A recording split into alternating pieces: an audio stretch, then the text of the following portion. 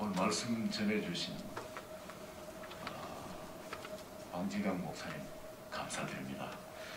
어, 참 좋은 은혜 받으신 줄 믿습니다. 네, 그리고 우리 또 기도 순서 담당하신 한 분 한 분 감사드립니다.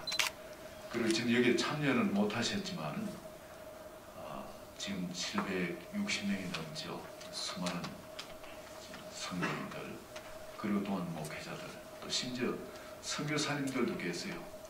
아침에 그 국을 듀오로 해서 새벽 기도에 오시는 분이 해외 선교사님도 같이 또 각지에 이제 다른 분들 사모님이나 또 사역자들 이분들도 아침마다 이 집회를 위해서 같이 기도하고 계십니다. 보이지 않는 지금 사방에 이걸 놓고 기도하시는 한 분 한 분께 또 감사를 드립니다. 킨자하는 교회 식사를 준비해 주시고 장소를 제공해 주셔서 너무나 감사하고요. 그리고 여러분 식사는 이 나가시면은 왼쪽으로 붙어 나가시면요. 어, 왼쪽에 하늘 어, welcome welcome이란 글자가 쓰인 문이 있습니다. 글로 들어가셔서 울로 올라가면 베드로 성전이 있습니다. 거기 식사가 준비되어 있으니까 아, 가셨으면 하시게 되시면 감사하겠습니다.